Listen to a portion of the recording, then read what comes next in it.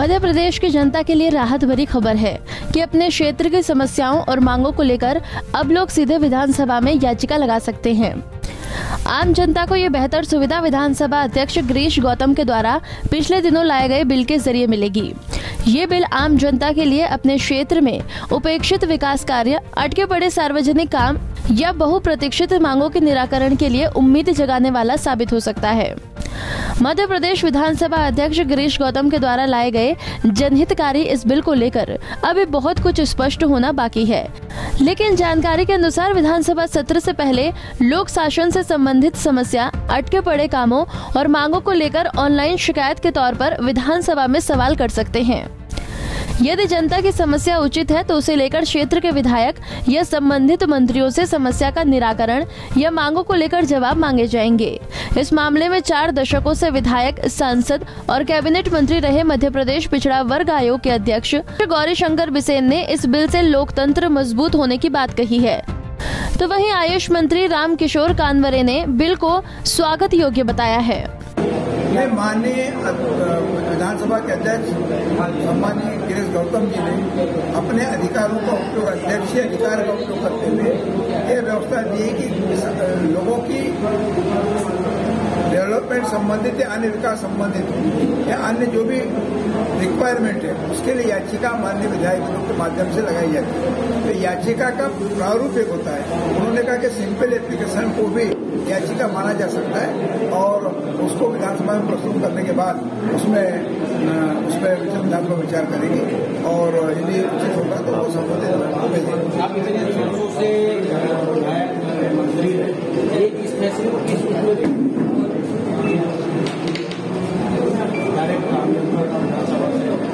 देखिए धीरे धीरे डेमोक्रेसी मज़बूत होती जाए लोगों में जन जागृति शिक्षा और सारा तरह से जागरूकता हो रहा है। और इसलिए ज़रूरी है कि पारदर्शिता के साथ में काम ऐसा न हो।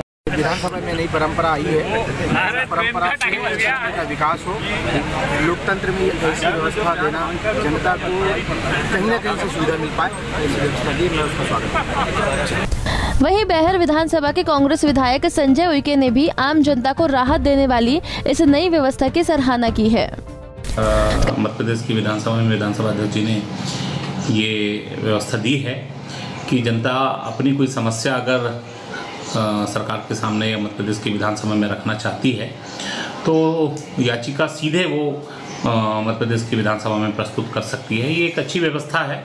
इससे बहुत सारे लोगों की जो समस्याएँ रहती हैं वो सीधे मध्य प्रदेश की विधानसभा में रख सकेंगे। एक अच्छी पहल है। इसमें और भी आगे आ, सुधार होना चाहिए। जैसे कि कई अशासकीय संकल्प हैं। अशासकीय संकल्प केवल विधायकों को प्रस्तुत करने का अधिकार रहता है। उसमें भी जनता के लिए खोला जाना चाहिए। कई विधानसभा क्षेत्रों में बहुत सी ऐसी बड़ी और बहुप्रतीक्षित मांगे होती हैं, जो आज भी निराकरण या विकास की बाट जो रही हैं बिजली, पानी, सिंचाई, सड़क, पर्यटन, विकास जैसे कई मूलभूत समस्याएँ हैं, जो क्षेत्रीय जिम्मेदारों की अनदेखी के चलते उपेक्षित हैं। ऐसी समस्याओं को अब जनता भी आवेदन के ज़रिए विधानसभा में पहुँचा सकेगी जिससे यकीनन विधायक मंत्रियों की ज़िम्मेदारी और जवाबदेही आम लोगों के लिए और भी बढ़ जाएगी। अब देखना होगा कि आगे ये बिल आम जनता के लिए राहत देने वाला साबित होता है। यह सियासत में सिगुफा ही बनकर रह जाता है। पंजाब केसरी टीवी के लिए बालाघाट से हरीश लिल्हारे की रिपोर्ट।